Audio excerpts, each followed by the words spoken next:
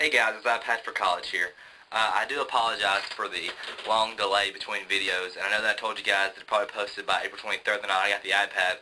But once I got to thinking, uh, I was like, you know, maybe it'd be more beneficial to those if I just wait a little while, you know, wait and see what I can do with it between now and then for my college classes and things like that.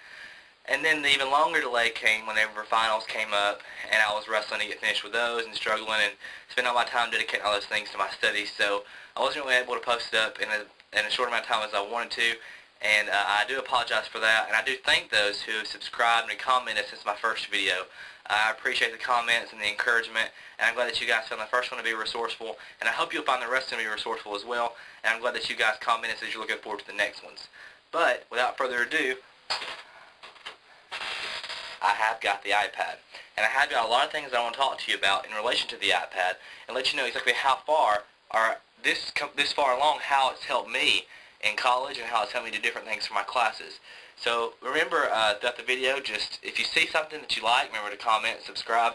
By the end of it, if you have any other questions, or if you think, well, maybe, you know, I have a question about this, what will it do for me in this aspect of college, let me know, and I'll, I'll be more than happy to look into it and try to figure it out for myself and make a video and let you guys know.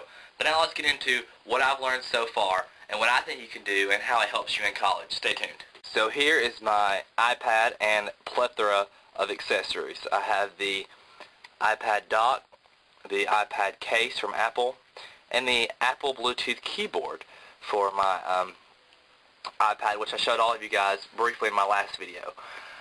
But uh, I just want to go ahead and show you before I put in, before I start using the accessories, just give you an overview of what I found out about the iPad. First off, one of the things that a lot of people have been complaining about the iPad is the small is the small scroll bar at the bottom that says slide to unlock. They said it has the same exact size as the iPhones. They said they want one that's bigger to cross the entire thing. This is my thing with that. I like the small scroll bar, this, this slide to unlock. And my reason behind that is, who wants to have to drag their finger from here all the way across to get their iPad to unlock? I like a little small uh, slide to unlock. You know, that, that's up to you guys if that's what you like. That's what I like. Uh, I like the way that goes. So now I'm just getting my passcode so I can get this thing open. Alright, the first thing you see that comes up is the natural home screen. If any of you have an iPad or if any of you have seen any of the other videos, this should become natural to you. Uh, I already have created my six icon dock here at the bottom. Um, instead of having just the four that the iPhone limits you to, you can have six on the iPad, so I've already taken advantage of that. I'm going to go ahead and turn it into landscape mode here and show you guys uh, that it does turn. I mean, it does. It turns anyway. I mean, it's the whole Steve Jobs. Uh, you shouldn't have to hold it a certain way. You should be able to hold it anyway, and the iPad work for you. And that is true. You can do that. And of course, you have the accelerometer uh, switch here on the side. That's going to keep it from turning if you should lock it. Alright, so as far as college goes, the first thing, if you're a college student, you're going to have email. So here's the email here, down here at the top. You see, this is if you hold it in portrait mode, you have this on the left side where you can pull down, drop down, then you have the actual message, and you can reply, delete. But if you hold it this way in landscape mode, you have all your messages over here on the side, then you can tap and see that email message over here on the side, like that. Like here is something for a scholarship, uh, an email. So I mean, like I said, for a college student, you're going to be working with emails constantly. So that's one thing. It's very intuitive design. Layout's very, very good. I think that anyone who uses this will be able to find that it's very easy to use. The interface is very easy to use, and it's actually very fun to use. It's, it's you know, emailing with the touch of your hand is much more intuitive and a lot more fun than just doing it on a regular keyboard like you would with a keyboard, I mean, with a computer. But uh, is it better than a computer? I wouldn't say that. I'd say it's on the same level. I mean, it still sends, you still receive, but it's just a different way of doing it, and it's more fun, in my opinion, and more intuitive. Now going back to the home screen. Some of the things you'll be using, obviously, Safari. And now I have Facebook up, which is not a very, you know, educational website, but you can Google things. Um, one thing that I just want to tell you right now that we're going to go through while we're on here is how I took a, a, an assignment for my macroeconomics class. And I took the assignment, brought it home, and I did everything required on my iPad. So that's one great thing that you'll be able to find out with the iPad. So here's Google. Uh, you can you, can type anything. Uh, like I said, macroeconomics. Let's just go straight to that. Macroeconomics. Okay, it comes up there. And there you go. You have Wikipedia articles, things like that. You can, know, you can study things like this, look stuff up, uh, just like you would if you're on a laptop. You need to browse the web, look for a source. If you need Spark Notes, things like that. If you're a high school student, look up novel notes, things like that. I mean, that's right here at the touch of your finger, and it's all right here on the iPad. So that's another thing that you need to know about is just having the uh, the web right there at your hand. And I will want to tell you that people have said that it's it's a lot of fun just to have the web at the touch of your hand, and it is. It's very fun, very intuitive. Uh, going, I know this is supposed to be like a college view, but going back to the whole means of the high school. I mean, here I am in the bookstore, and most of you think, well, there's going to be books in there, but you have to buy them. Let me just read you off a list real quick of all the books that I got for free. The Importance of Being Earnest, Heart of Darkness, A Tale of Two Cities, The Picture of Dorian Gray, Sense and Sensibility, Romeo and Juliet, Frankenstein, The Adventures of Tom Sawyer, The United States Constitution, The King James Bible, Adventures of Huckleberry Finn, Pride and Prejudice, and The Adventures of Sherlock Holmes. These are just some of the books that are on the iBook store for free. And all these are classics. And I don't know about you guys, but I read every single one of these books throughout high school. So think about it. You don't need a copy, a little paperback copy to carry on with you anymore. You can just take your iPad with you. It's all here at the touch of a button. So let's take one of these books. Um, one of my personal favorites was The Picture of Dorian Gray, we're going to open that up. And right here you have the complete work, The Picture of Dorian Gray by Oscar Wilde. And here you go, you know, you can just slide them like that with your finger.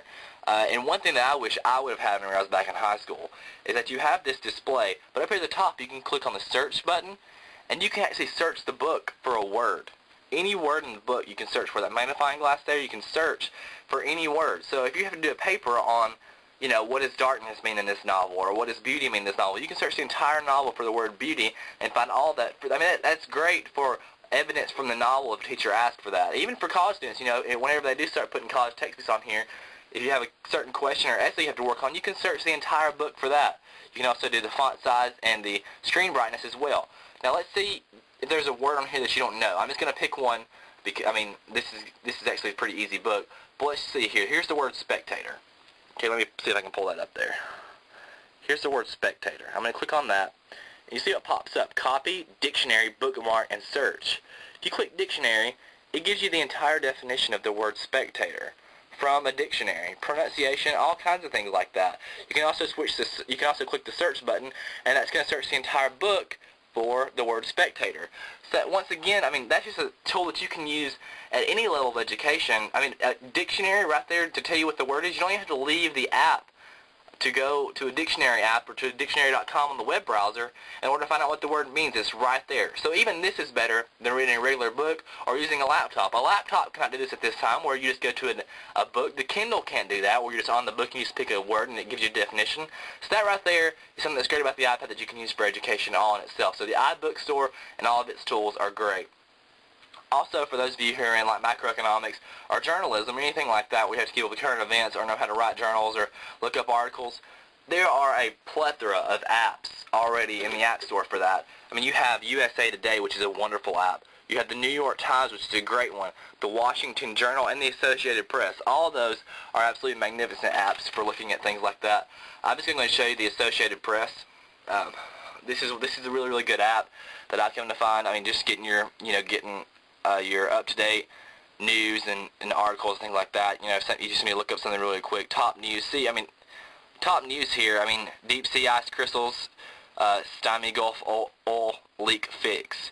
Uh, Senator Bob Bennett ousted at Utah GOP. You know, just things like that. You can just click, and you have the entire article right there. I mean, it's just it's right here. You can read the entire article. Uh, you can email the article to yourself. You get the actual link. I mean, it's just it's it's incredible what all this app will do, what all the what all the uh, news apps will actually do. So I mean, it's just a, it's just nice to have and very convenient, very informative, and very educational all around. Uh, that pretty much does it for the apps version. I mean, there's this Wikipanion here. I mean, guys, you you usually are told not to use Wikipedia, so I'm gonna have to. I'm not gonna get so much into that app because it's not really that phenomenal for that. But uh, if you just need to look up something really, really quick for your own enjoyment or for your own amusement, dude, it's, it's, it's really nice to have. I mean, just be able to click on it and just, I mean, I'm kind of a big Braves fan. I'm from Georgia, so I go up here to search in the search bar, and I can type in Atlanta, and there's Braves right there. Comes up in the search bar. And I mean, it gives me Atlanta Braves, the Wikipedia page. I mean, it's just, it's incredible what this thing will do.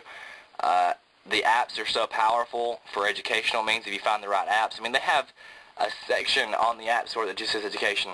I'm coming up to about 8 minutes on this video, guys, so what I'm going to do is I'm going to pause and um, come back and I'm going to talk about two very, very important applications that are very, very good for you to have uh, if you're going to have your iPad and very, very good for education. So stay tuned for that. It'll be part two of this review. Thanks.